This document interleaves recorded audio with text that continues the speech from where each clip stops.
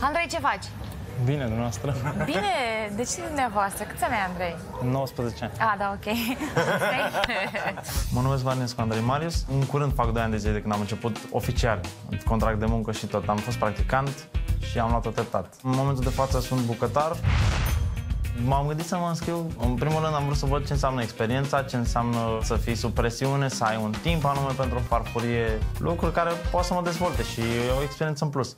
O să fac un filet de calcan cu un piure de anghinare, morcov noaze, o reducție de ardei roșu și baby dovlecel. Mi-am ales rețeta asta datorită piureului de anghinar. Uh, iubesc anghinarele, îmi place foarte mult să lucrez cu anghinare și înainte să vin la emisiune m-am gândit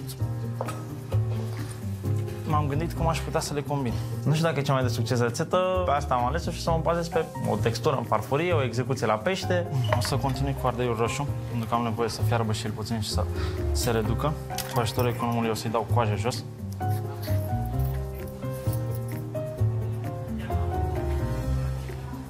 M-am tăiat. Dar e ok, e o experiență nouă, mergem înainte. Simt presiune destul de mare, dar cred că e destul de ok. Bună seara, m-am zgâriat cu econom. Am nevoie doar de un plasture. În bucătărie, practic, poți să faci multe greșeli. Până la cât de curată ți farfuria și ce preparat bun ai făcut tu. Și de la tocat, de la curățat, în primul rând, de la igienă. Bă, ce... Bă, ce nu se poate, mă, ești mă. Gata? Deci acum nu te Ga, ține. lăsați-le așa, nu mai contează.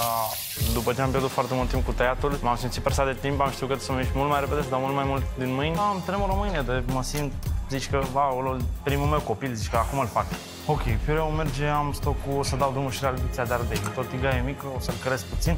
Mi-a fost greu, deoarece parcă nu aparțineam locului. Presiunea este destul de mare. Sper să nu-și dea seama că în spatele farfurii este un puș de 19 ani, dar probabil o să se vadă un pic de neîndemânare, având în vedere că nu am fost poate la cel mai bun nivel în seara asta. Din păcate. M-am pierdut total. E important uh, să reușesc eu pentru mine, personal, pentru că a fost ceva ce mi-am propus. Chiar mi-am dorit să ajung aici. Am terminat farfuria, sper să fie destul de convingătoare pentru șefi. Nu sunt foarte mândru, dar sper să fie suficient pentru cel puțin două cuțite.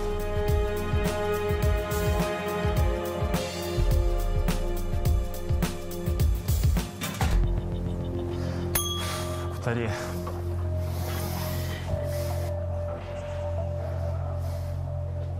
Băi, știu ce e acolo. Ce e, mă, acolo? Ce e, mă?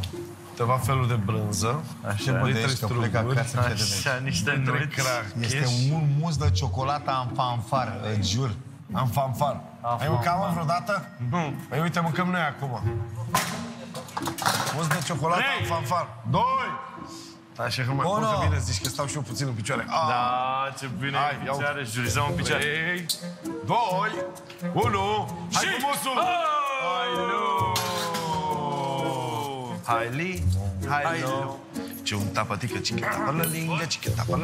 Cică tapă la lingă, ce un tapatică, Ce e cică ăsta? tapă la lingă.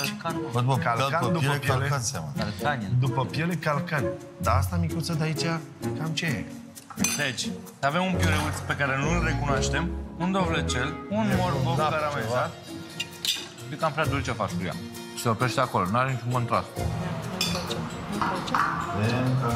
Pleacă de la pește și termină la pește. Da, și gust. Nu, dar trece pe la alea, trei buline pe ticali. Da, Mai doar tot mă acolo. pe nicăieri. Ne, mă, doar la morcov. Morcovul se simte cel mai tare dintre toate. Știi cine e? Eh? Dacă zic, nu o să zi, nu o să crezi. Hai mă, zim, Ia zine mă tu, cine? ne faci curioși. E un băiat care cară lăs de pește în piața de pește de la Obor.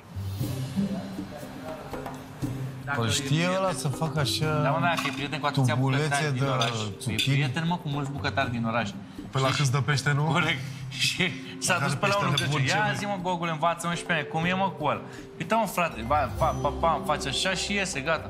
Și fără sos. Și fără sos. Da. Ce dai pește, da, păi dă-mă doar pește. Corect. Peștele... Culoarea peștelui este wow. Dar nu neapărat culoarea. Temperatura la care la Pește. Faptul că n-a reușit să îl vlăguiască de toată seva lui și să-l usuce ca pe toți dracii. Eu cred că e o balerină. Balerină? Da, da, da, da. Păi de aia mănâncă, uite așa, o bucățică de pește și trei din alea, așa, ca să nu se îngrașe. Bună și Asta, așa. eu așa cred. Hai că votăm. Votăm?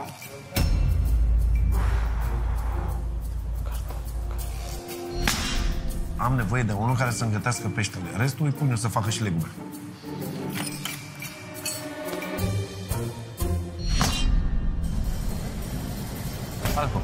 Alt copil. Bună seara. Salut. Salut! Cum te cheamă? Marinescu Marian. Andrei Marius. Acolo scrie Marian. Uh, Marinescu. Aha! Andrei Marinescu. Andrei Păi- Marinescu. Câți ani ai Andrei Marinescu? 19 ani. Și de unde vine Andrei Din Marinescu? București. De ce mai Andrei Marinescu? Să văd ce pot. Bă, da, la 19 ani n-ai altă treabă? Să umbli prin oraș după fete, habar n-am. Asta e treaba. Măi, Andrei, ce, Nu. ce ai făcut tu, mă, până la 19 ani? Am gătit și școala tot. Ai gătit și școala. Da. Ce ai gătit, Andrei? Ai gătit școala, mă? Nu, nu, nu. Am terminat liceu și am continuat cu bucătăria. Ce, Ce liceu ai liceu? terminat? Am făcut lege economic viilor. Oh, mai sunt, mă, profesori de acolo? Mai sunt. Băi, nu știu, era unul Mohănescu, mai există? N-am Nu auzit. mai era Mohănescu, cred. Și nu am învățat mă la viilor să curățați și voi morcovul. Andrei, pe unde ai mai lucrat? Am lucrat doar la JW Marriott și în Franța. La Merie. Mă? Da. Unde ai lucrat, mă, tu în Și în Franța? Franța? La Oliven Artișo. În Când, Nița. mă? Acum aproximativ un an de zile. Dar cum ai ajuns acolo, în Franța? Un fost coleg de clasă m-a sunat, sta- s-a stabilit în Franța, în clasa 10 m-a sunat și m-a întrebat dacă vreau să vin să susțin o probă să intru acolo. Wow. Am demisionat, am plecat și am reușit să ajung acolo. Și ai reușit să iei proba? Acum ești acolo? Am, nu, nu, nu, în momentul de față m-am întors la mele. De ce? Pentru că mi-a fost greu fără părinți, fără familie, uh, nu prieteni, singur, uh, multe responsabilități. Dar de Cum ce să n-ai dai, mă, stat cu piciorul acolo? Exact. ocaziei cele mai mari din viața ta de a te stabili în meca a gastronomiei, frate? Auzi, la Nisa. Băi, omule, De bă, ce n-ai stat bine, acolo? bă, Că ce bine. s-a întâmplat? ai plâns după anturaj, după fusta mamei. Hai, mă, băiat, mă, n-ai, bă, cum să, n-ai cum să ajungi mare bucătar dacă faci asta. A fost greu, a fost greu când eram mic. Știu, dar îmi doresc să găsesc un echilibru. Vreau să le fac pe Echilibru? Toate. Păi Am 19 ani, ce Păi, echilibru copilul, vrei să Echilibru e am găsești? plas, mă, să ți cinci la, ani- uite așa. În 5 ani, anturajul tău Să nu erau faci așa. Da. 5-6 mega șef francez pe acolo. Două. Ăla era anturajul. Anturajul tău, prietene, la Acum 19 anturajul tău ani, e am plas. Costică, Vasile și Dănuț. Miza în plas se numește anturajul tău. Și Gigi, eventual. Trebuia să stai acolo în Franța, cât mai mult posibil. Învățai foarte bine ce înseamnă bucătăria, după care veneai în România și mai învățai și pe alții. Că ăsta ar cam trebui să fie rolul nostru. Înțelegi? Ah. Da. Să stai tot în Franța. Dacă ar fi să mergi mai departe, prin Asta e. absurd.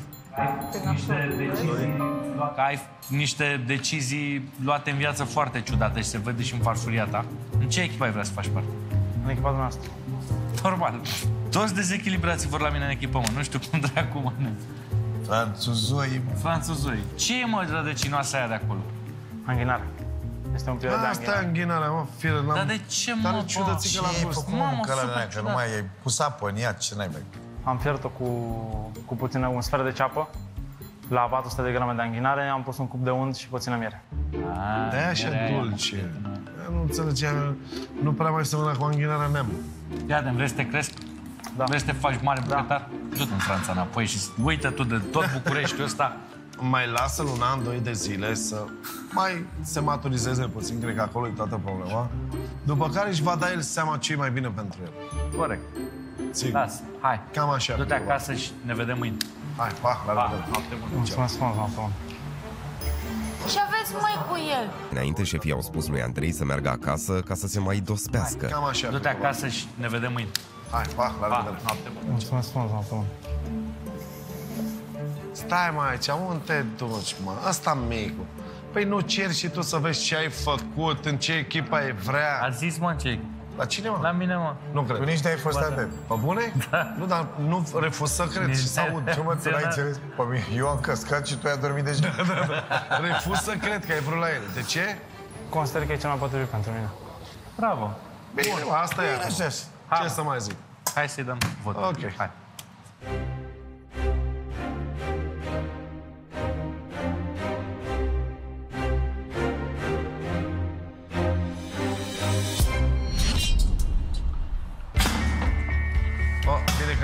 Două scarnătesc, cuțite, că era și mai grav. pentru că ai greșit morcovul ăla. Și acum îmi pare rău. Bă, da, peștele, cine te-a învățat să-l faci? Felicitări. Unde ai învățat să faci pește? În Franța. În Franța, unde vrei să... Eee, Înțelegi acum? Mulțumesc frumos. Nu-l mai strânge prea tare ca să a tăiat la mână. Te-ai tăiat? Hai, mă.